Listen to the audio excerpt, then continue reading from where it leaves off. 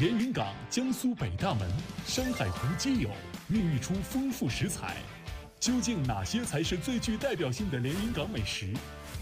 我还是比较喜欢吃海鲈鱼、塔山湖鱼头、塔山湖鱼头、嘎啦炒鸡。这道菜必须要有淮扬菜的精细刀工。山海湖赣鱼味道美食文化节上六百多道诱人菜品，究竟谁能脱颖而出？我们将走进连云港，感受山海湖美味皆有的舌尖盛宴。《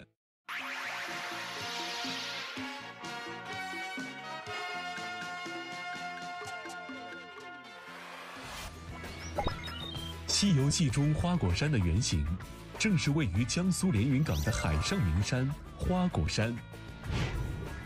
连云港这座江苏少有的海味十足的城市，江苏大量岛屿分布在这里，也是江苏罕有的山城，以及众多同类淡水湖泊，造就了这里的食材兼具山海湖的特色风味儿。中国的码头看连云港，连云港的码头看赣榆。我现在呀就在坐拥中国八大渔场之一海州湾渔场的连云港赣榆区。这里自古便享山川之饶，受渔盐之利，餐桌上永远不会少了时令的美食和美味。山珍海味湖鲜，各种美味在这里争奇斗艳，各显本领。究竟哪些菜能让人赞不绝口？是大家一致认为最有代表性，并且绝对不会错过的连云港美食呢？在这场山海湖赣鱼味道美食文化节上，就能找到答案。近百位赣鱼大厨都拿出了自己的拿手好菜，足足有六百道菜品进行展示，热菜、冷菜、创意菜、名小吃，甚至还有不同主题的特色桌宴，聚集了各种各样的当地特色美食。经过激烈角逐和大众评选，有几道菜得以从中脱颖而出，高票当选。这第一道菜可就来头不小，既能体现淮扬菜精细刀工，也彰显鲁菜的火候，还是经典的连云港名菜。我比较喜欢的油爆无花，特别喜欢吃这道菜，油爆无花。油爆五鱼花这个菜品，首先是在选料上食材很高档，要求厨师的刀工技艺精细，也是他们。赣鱼的一个特色菜，这来到了连云港啊，我们才知道当地这大厨云集，而且啊，他们正好赶上这个美食节，是吧？这些大厨到这儿来是各显八般武艺啊，尤其我旁边这位大厨做的一手好菜。大家好，我是连云港本地的厨师，我叫张公明，做厨师这一行有三十多年了。这菜名字啊，您一听就好吃。油爆乌花，油爆乌花在连云港是十大名菜之一。每个厨师要进局的话，必考的菜。可能好多观众啊，都纳闷说乌花乌花，不就是黑色的花吗？这个乌花不是无色的花，嗯，是这个摸鱼，连云港本地人叫是大乌子，经过加工形成的花，叫这个乌花。咱们现在有眼福了，看一看张大厨如何加工这个乌贼。第一步，把这个硬壳取掉。墨囊，墨鱼的蛋，墨鱼花就用到这一块。这墨鱼呢，一年四季它都有，在这个季节呢，它最肥美了。等于海产品在这个产卵期之前是最肥美的时候。对对，因为它有储存营养。对对，连云港这边的海域呢，很有特点性，有山有海有岛，有滩涂，有港口。所以连云港这片地区啊，海产品太丰富了。关键是这乌贼看起来，它长得又饱满又干净，对，是吧？它那种新鲜度就特别好。对，直接切四十五度角进去，深前要一锯，切到五分之四。先斜刀，再直刀，这种出来的花儿叫什么花呢？麦穗花刀，典型的麦穗花刀。麦穗花刀啊，讲究的就是呈现出麦穗状。这一定要用开水烫一下，才能看出来它是不是真正的均匀。焯木鱼花有没有什么水温的要求？开水焯个两三秒钟都可以。非常漂亮的麦穗。下一步我们做这个油爆乌花，开火热热以后加油。油爆菜呢讲究快火急炒，需要呢提前调一个碗汁，需要盐、鸡精、胡椒粉、料酒、白糖、淀粉、淀粉、香油，加一点水。好嘞，好，青红椒先搁在这个漏勺底。对，油温需要几成？五六成油温就可以。好，油温差不多了，爆一下。哦，看见没有？爆菜就得是高油温，哎，漂亮。您看这墨鱼花啊，现在一下就绽放了，全支棱开了。油爆一下子，基本成熟了。刚才这个油爆的温度啊，把这个食材现在已经是做到了最棒，就差您这快炒了。小料都给您准备好了，葱姜蒜一起下，爆香料头，迅速下锅，投入芡汁儿。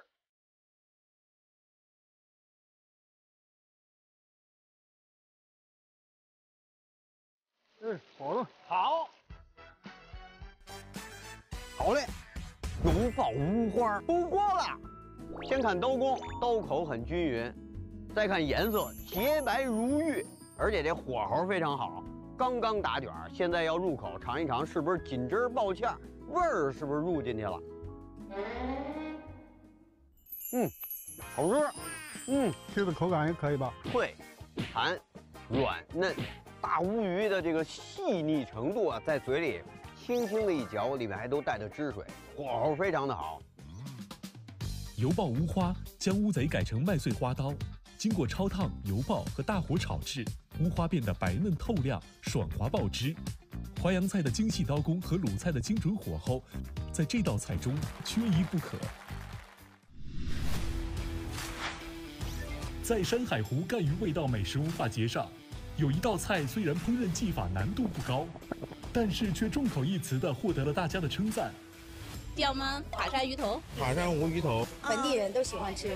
塔山湖的鱼头非常好，非常独特，具备了一定的功底，赣鱼的美食地标。甜焖瓜酱焖塔山湖鱼头，这是一道能够代表当地风味的特色菜。这甜焖瓜究竟是什么意思？为什么一道菜里有两个焖字？必须让专业大厨给我们解答一下。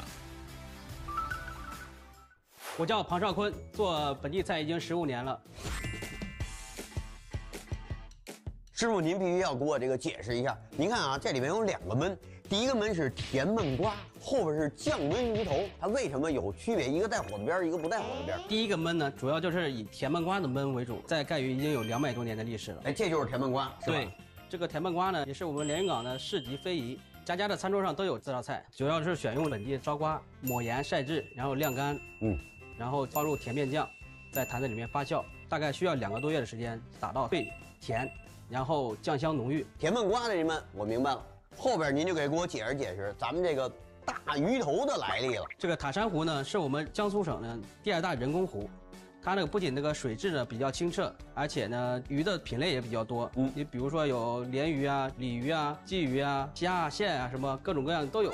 那咱今儿用的这个鱼，它是什么鱼啊？花鲢鱼，它的肉质呢非常的肥美，比较适合来做这个鱼头吃。哎，这个鱼头里还有好多那叫胶原蛋白。对，一个当地特有的甜焖瓜，一个当地特有的这个鱼头。到了连云港，尤其是赣榆地区，吃的就是山海湖。所以咱们今天再把这个山海湖里面的湖鲜。彻彻底底的给它尝透。来，您开做，我跟您学。好嘞，把锅先烧热，然后加上我们的猪油和色拉油，烧起来更加的香浓。然后来几片姜、葱，先把这个葱姜给爆香。蒜，少来点。然后下一步呢最为重要，把我们这个独有的甜焖瓜，嗯，放着一点的小颗粒放里面炒。哦，把它的香味炒出来。我们这个甜焖瓜放里面呢，一定要把它爆香，然后待会儿烧出来的鱼呢，味道呢才会更加的酱香浓郁。放一点我们的干辣椒，少来点花椒，然后把我们的鱼头放里面煎制一下。这时候一定要大火煎，把它的香味煎出来。那一会儿这鱼头还用翻面吗？不用，不用，不用，单面煎鱼头就可以。来点我们的花雕酒，来点纯醋，来点老抽上点色。然后加上我们的高汤，这高汤是拿什么熬的呢？猪大骨、猪蹄子，哦，来点盐，增加一下底味，来点糖提提鲜。现在呢，我们就是大火把这个烧开，下一步呢就是体现出我们第二个焖了，改成中小火了，然后大概要焖制在十五分钟左右。像咱们这种大鱼头啊，除了今天做的这种方法，还有没有其他的吃法？我们今天做的就是这种红烧，还有清蒸，嗯，剁椒。我们赣鱼呢都有这么一个说法，吃大鱼到塔山。就尤其我们这个花鲢鱼头，塔山湖的鱼馆呢，家家都做，有不少游客呢慕名而来。好，下面我们来打开一个锅盖，看看这个鱼怎么样了。嗯，十五分钟也差不多了。对，把这个鱼汤往鱼身上浇一点，大火收汁，让这鱼呢都入味。稍微来一点锅边醋，把我们改刀好的甜焖瓜焖煮一下。哦，这又是一种改好刀的甜焖瓜。对，这上面有一些小花刀哈。对对对，这个就是放在上面就是好看一点。嗯，同时其实它也是又增加了一次甜焖瓜的味道。对，好，我们出锅。嚯，好香！然后来点葱花，撒点小香葱，点缀一下。哇，太漂亮了！要想知道这个鱼好吃不好吃，咱得问做菜的师傅。师傅知道哪块鱼肉烧制或焖制完了之后啊，最嫩最香。这个鱼盖里面的这块鱼晕，哎，掀起盖头来，粉嫩粉嫩，而且它颤颤巍巍。对，看上去像脂肪，实际上是鱼里边的一个软组织，叫鱼云。它比较洁白，然后口感呢比较细腻，蛋白质特别多。哦，再来一块肉。哇，胶原蛋白不说，还有这个甜焖瓜的那种酱香。这时候咱们要吃一块下好花刀的甜焖瓜，咯吱咯吱，脆，口感脆甜，对，嗯。甜焖瓜酱焖塔山湖鱼头，选用赣榆本地特色食材甜焖瓜和塔山湖鱼头共同焖制而成。点睛之笔在于出锅前淋入锅边醋，进一步激发浓烈鲜香。为了找到连云港最具代表性的山珍、海味和湖鲜，范小二决定走进山海湖赣榆味道美食文化节的后厨，探寻最具特色的连云港美食。哇，这就是厨房啊！可以看到，大厨们都在忙着做自己的参菜作品啊。这是做什么菜品啊？松鼠鱼。松鼠桂鱼的这个造型摆了一样哦，但是是黄鱼，那这难度可大了。祝您获奖！这是在煎鱼头是吗？对对对。那你觉得做怎么样？非常不错，非常好，很自信是吧？对对对。哇，这都是咱们的参赛作品吗？对对对。哇，太厉害了！这边的参赛作品两个字来形容就是磅礴。今天这个作品能获奖吗？绝对没问题，绝对没问题。好嘞，两位师傅辛苦啊！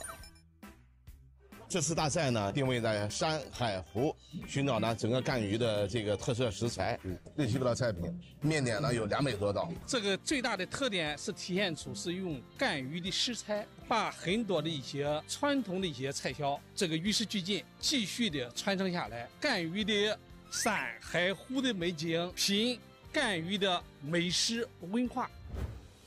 有请获得特金奖的代表，第一名徐珠江。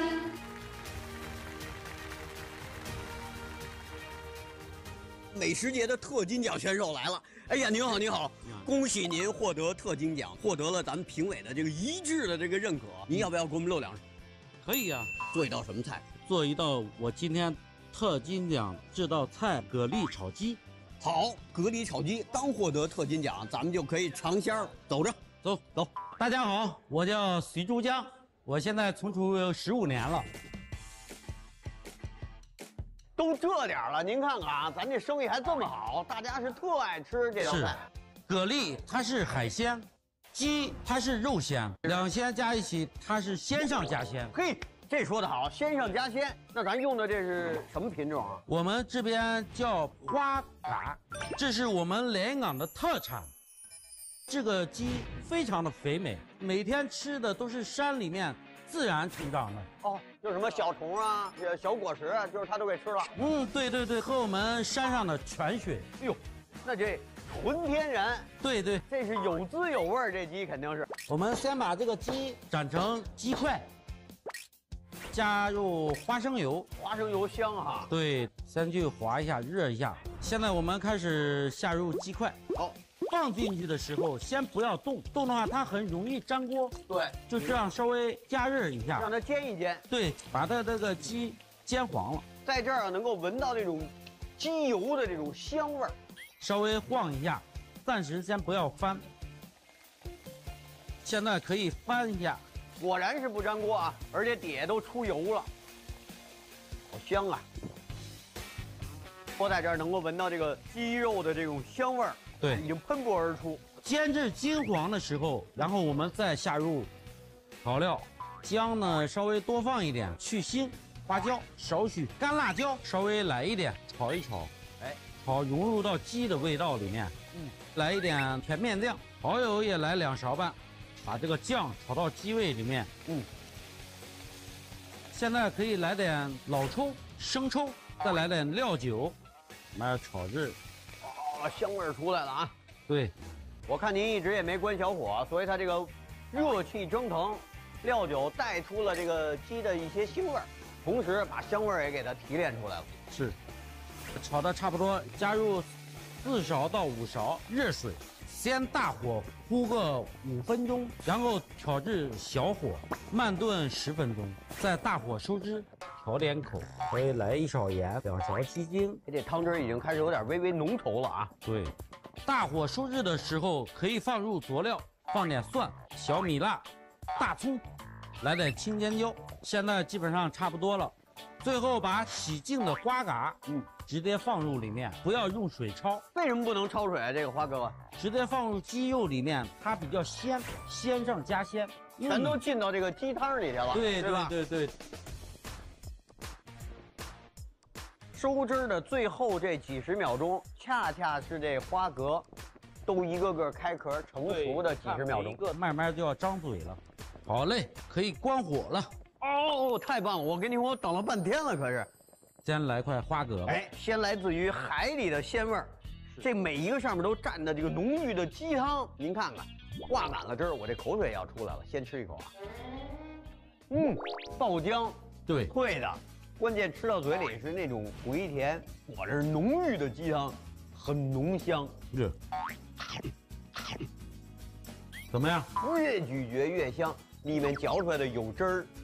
还有这个鸡肉本身的这种香味儿，既凸显了当地的这种山里的味道，又彰显了这里边海水的仙气，让我充分感到连云港啊美食它的魅力所在。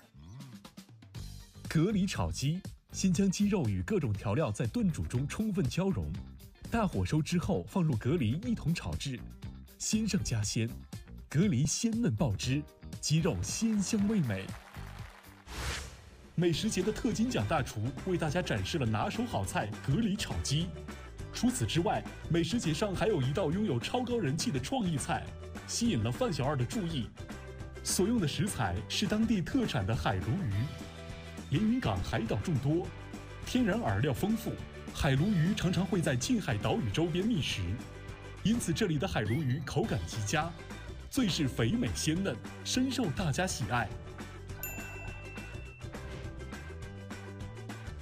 我们在这个连云港的苏鲁海鲜批发市场，这里啊汇集了全国各地的海鲜，当然。连云港的当地海鲜也是非常的抢眼，而且啊，这里卖货的人都有一个独特的特点，就是他们拿着手机在直播，真是从捕鱼网连上了互联网。来，新鲜的海葵啊，我回家可以炒个韭菜，炒个蒜苗，经济实惠，好吃不贵。我们现在的观看量大概有多少呢？三十到五十人吧，全满号人。现在三千多人。啊，这边卖的是当地的虾吗？对，当地的小纯野生的小海虾，新鲜的海葵，豆腐鱼，那个是墨鱼。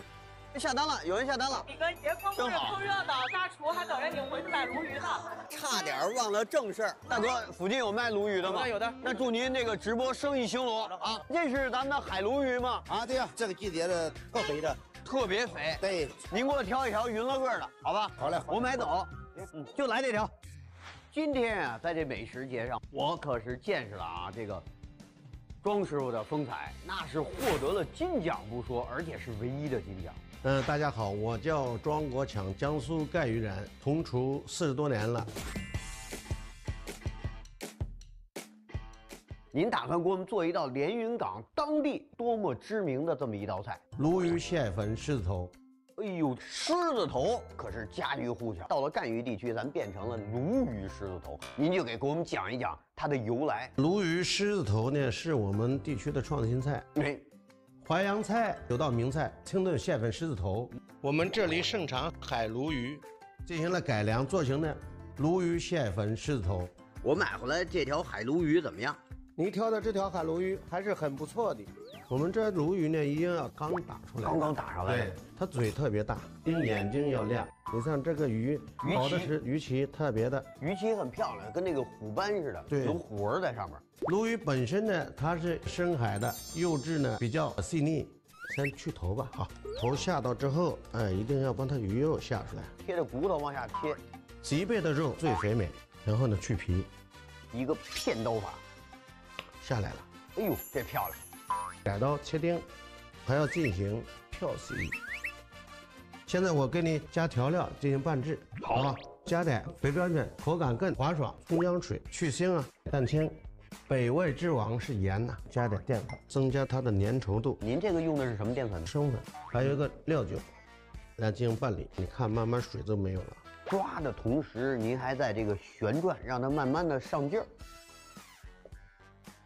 一定要用力的。像这种菜是不是只能是纯手工？这传统的菜，嗯，一定要手工做。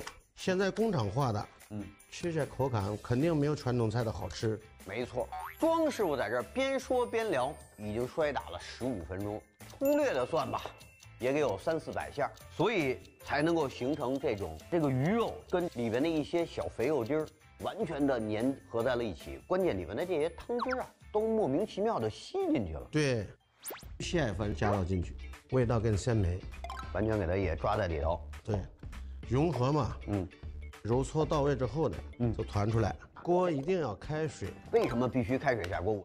那是散的了。狮子头下锅，好，在这个沸水的中心点加盖，啊，这时候要迅速加盖，让保持住它的温度，是吧？对，卷成中火了，火大了，它也会咕噜碎。哦，等于给它沸腾冲击开了。对对对，也容易给它咕噜碎。这个经过三个小时之后可以开吃了。好嘞，看看看这三个小时的，哇！喷香，而且洁白，上面有这种星星点点的这个蟹粉。现在我们开始调味啊，先放点盐、胡椒粉去腥增香，再炖个五分钟入入味。我们来点小油菜烫一烫，搭配点盐丝，啊，漂亮，有荤有素。嗯嗯，来，我们可以出锅喽。啊，好看哎。不断的再淋上一些热汤，让那个狮子头表面更加的润泽。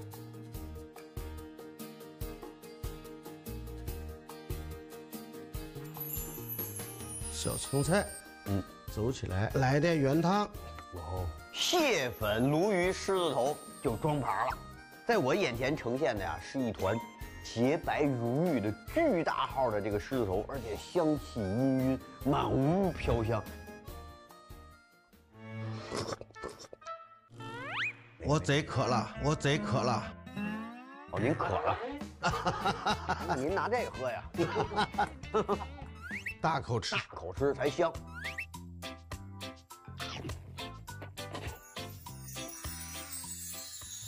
轻轻的上膛下膛一抿，鱼肉就化了，里边有那种微微的爆浆感，是里边大量的汁水。这个汁水是由于刚才这个火候太好了，把鱼肉里面的汤汁。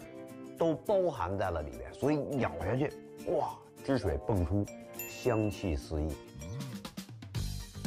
鲈鱼蟹粉狮子头，将淮扬名菜狮子头中的主要食材五花肉换成连云港特产的鲈鱼，经过手工搅打上劲儿和长达三个小时的炖煮，鲈鱼狮子头香而不腻，入口即化。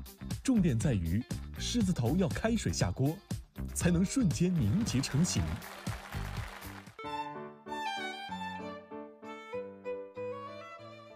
您在家平时就这个回去也做饭吧？小孙子什么的都特喜欢您这个饭菜。孙子啊，不是吃他爸爸的味道，嗯，妈妈的味道，而是吃他爷爷和奶奶的味道。